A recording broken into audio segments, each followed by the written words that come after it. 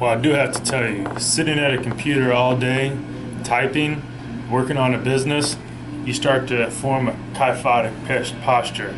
I can feel right in the middle back, right where my rhomboids, my traps meet, right between the scapula. Man, I am tight. I'm stretched out like this. I need to get some more thoracic extension into my routine. Throw this one in if you need a little bit more um, thoracic extension. Work those back muscles, all right? hold the resistance band straight out, pull it out to the side and back.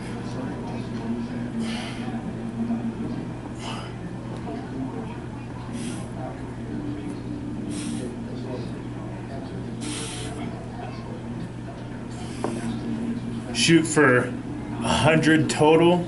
So that means you could do five sets of 20, four sets of 25, etc. That's going to help your uh, reduce your kyphotic posture, help increase your thoracic extension because you're strengthening the rhomboids, pulling your scapula back together. All right, goes like makes you look like this. Okay, when we type, our shoulders come forward. We lean forward all day. This helps you come back into natural alignment. All right, that's your business tip of the day from Green Fitness Systems. You guys have a wonderful afternoon.